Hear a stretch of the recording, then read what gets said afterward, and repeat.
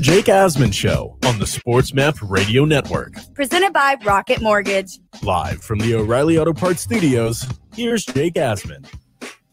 A lot to still get into right here on the show, the Jake Asman Show. This hour of the program here on SportsMap has been presented by Rocket Mortgage. When you need an expert to help navigate the home loan process, Rocket can. So, some news with the New York Jets here. Jets head coach Robert Saleh told the media yesterday in New York that wide receiver Jamison Crowder is dealing with some contract stuff. And that's why he hasn't been at OTA. So you look at the Jets wide receiving corps, and they actually have some talent there for the first time in years that they're actually going to, you know, give Zach Wilson maybe a chance to succeed, unlike Sam Darnold, who had nothing to work with for basically three years. You, know, you have Corey Davis, who they brought in during free agency. You obviously have uh, you know, the moves you make, like taking Elijah Moore in the draft and signing a bunch of dudes like Keelan Cole, Denzel Mims. You had Crowder on the team still. So Jamison Crowder has put up 137 catches and 1,500 yards and 12 touchdowns in two years with the Jets. He's due to make $10 million this year, but none of it's guaranteed. So the Jets could be like, uh, you either take a pay cut or we cut you. I would work with Jamison Crowder, though, if I'm Joe Douglas and the Jets.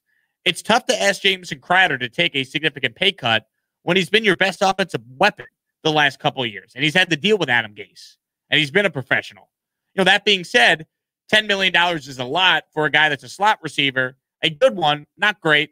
And you have Elijah Moore who's turning heads in camp and plays a similar position. I think the best case scenario here for the Jets is that they work out a short term extension to lower his cap number.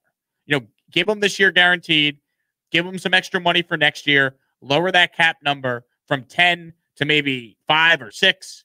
And then you could use that extra money to maybe sign some veteran free agents that are still out there. That's how I would hope it ends up playing out. Because there's no reason for the Jets just to cut him if Crowder, you know, and them can't work out a deal. Worst case, I think you just deal with Crowder at that number because he's still a good player. And you're still the Jets. You need as many good players as possible to help out your young rookie quarterback. Do I think ultimately it gets done between the Jets and Crowder? I do. He's a good player. And you have Zach Wilson. Give him every weapon possible. Like the anti Sam Darnold approach should be the approach the Jets look to take. You know, give Zach Wilson, Corey Davis, Jamison Crowder, Elijah Moore, Denzel Mims. Give them all those guys. Keelan Cole. There's no such thing as too many weapons for a rookie quarterback. So, do I think it ultimately gets done between the Jets and Crowder? I think they work something out. He's a good player. You don't have enough good players. Find a way to get it done, Jets.